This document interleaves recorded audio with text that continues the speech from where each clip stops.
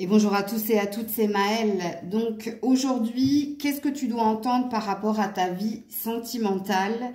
Donc je te laisse faire le choix entre le, les cartes numéro 1, carte numéro 2, carte numéro 3.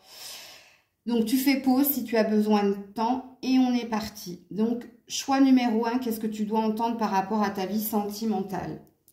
Alors ici, on parle d'amour passager, de flirt, d'amour éphémère et on te dit que cette personne souhaite te revoir et s'expliquer avec toi, qu'il y aura un retour probable de sa part, surtout si tu es signe de la Vierge ou s'il est signe de la Vierge. Donc choix numéro un par rapport à ta vie sentimentale. S'il y a eu quelque chose d'éphémère, de passager avec quelqu'un, il y a un retour de cette personne.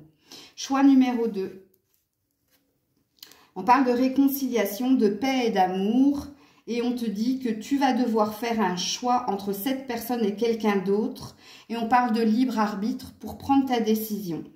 Choix numéro 2, ici, pour retrouver une paix intérieure, pour euh, retrouver une, paix en soi, tu vas devoir faire un choix. On peut parler ici relation triangulaire.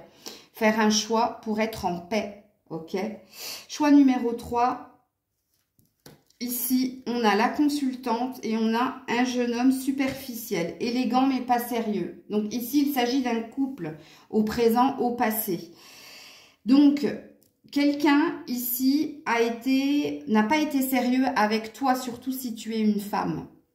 Qu'est-ce qu'on te dit? On te dit ici que cette personne va revenir, ce n'est pas fini. Et rassure-toi, surtout si cette personne est un signe du lion ou si tu es signe de lion, on te dit que cette personne hésite pour le moment car un choix est à faire. Ici, on parle de concession, de sacrifice. Donc, on te dit que cette personne reviendra, surtout si elle est signe de lion ou si tu es signe de lion, mais que pour le moment, elle est dans l'hésitation. Et on te dit qu'il va y avoir de beaux projets en perspective.